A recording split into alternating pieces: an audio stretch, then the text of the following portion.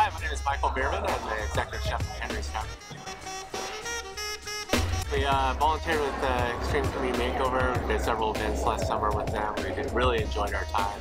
Uh, very helpful. We've got my team members involved on uh, helping out the community. This helps us out as a restaurant. Uh, we cleaned up alleyways. We worked with children who worked with at different schools. The people around there, they just came out of their doors, they looked at you, they smiled, and you just knew that they were thankful that somebody actually cared. And they even came out and started helping us um, as well. So that was a really awesome experience. Uh, really had a good time. Built camaraderie with our team members, and they really enjoyed putting in some extra time. One of the best things that I thought happened during the day is that we were all um, being very helpful towards each other, using a lot of teamwork.